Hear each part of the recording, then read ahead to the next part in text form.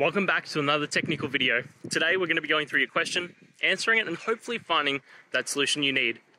Guys, remember stay just a little bit crazy, just like me, and hopefully you get through that resolution. So let's continue on.